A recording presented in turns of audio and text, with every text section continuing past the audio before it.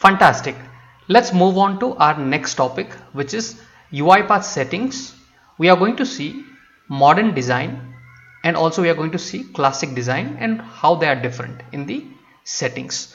So now once you are you have opened the UiPath Studio, click on settings and go to general and here you have multiple options to go for like light and dark mode i would love for i would like to go with a light mode so i'll leave it as it is.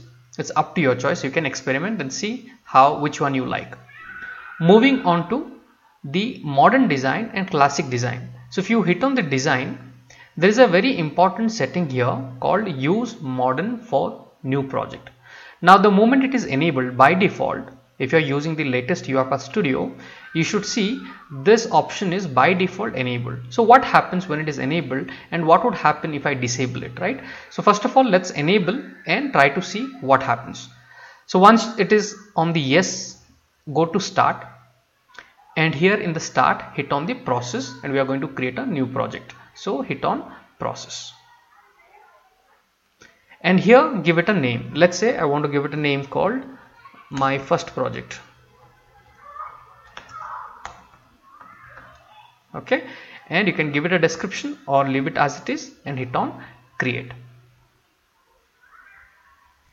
After waiting for a while you would see the new banner has appeared and this has got app slash web recorder computer vision user events table extraction and so on and so forth. So this is the modern design view but the classic design view will be entirely different. So let's see how the classic design looks like.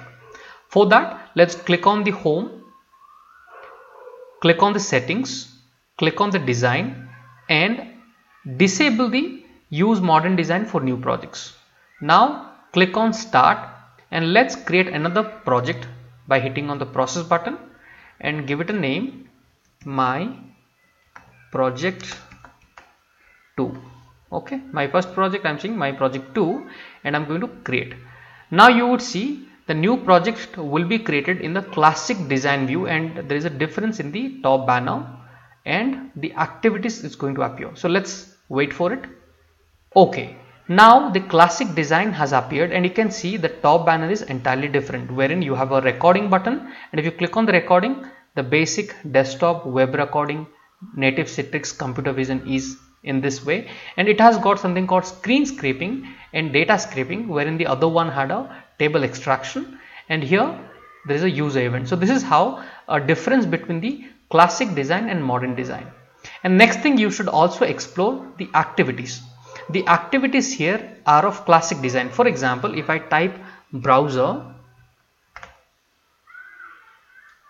you see there is something called open browser activity over here to open a browser okay? I'm going to talk about that in the next topic. But letting letting you know in the classic design the even the activities are of a different type. Here i have an open browser. Now if i switch back to the modern design i'll hit on the this one and i'm going to launch the first project.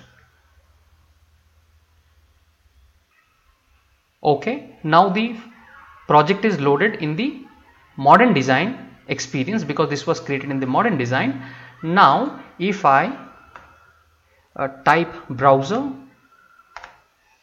you will see there is no open browser activity but there is something called use application browser. Even the activities are different in both the views. However you have an option. You can click on the filter option and click on the show classic. This way if I the moment I enable it from the filter option if I if, if you see the uh, open browser activity has appeared. If I uncheck this, you see that has disappeared, right? Now, if I check this, I can also use being in the modern design, you can also use the classic or the old activities, okay, of UiPath Studio. So that's about the agenda today. We are going to move on to our next topic.